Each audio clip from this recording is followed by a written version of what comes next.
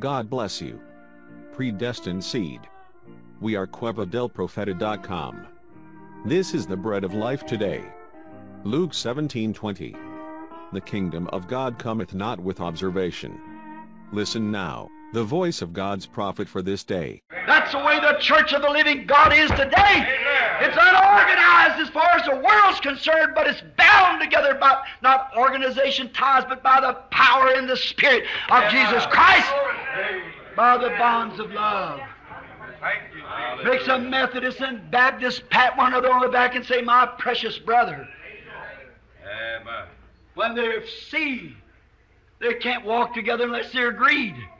People say, Are you a Christian? I'm a Baptist. That don't answer the question at all. Am I a Christian? I'm Pentecost. That don't answer the question. If you are a Christian, you are a born again creature.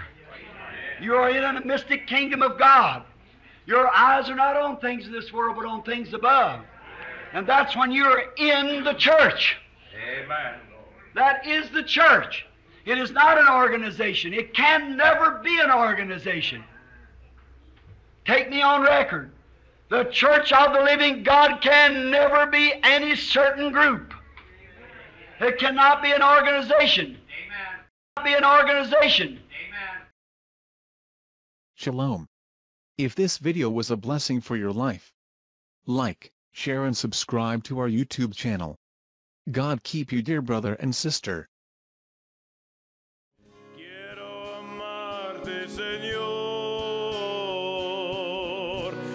Sentir la paz excelsa de tu amor.